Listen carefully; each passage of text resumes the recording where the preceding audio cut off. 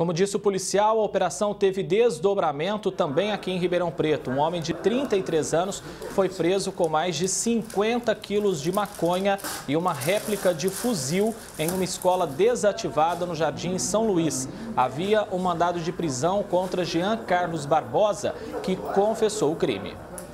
Não houve resistência, a gente, é, ele foi surpreendido, é, é, apresentado aqui, ele, ele confessou que estava sob a sua posse, ele estava sob sua responsabilidade essa droga e, e só ficou surpreso porque é, pegou de supetão, pegou, ele, ele não contava com a nossa presença naquele momento, logo de manhã.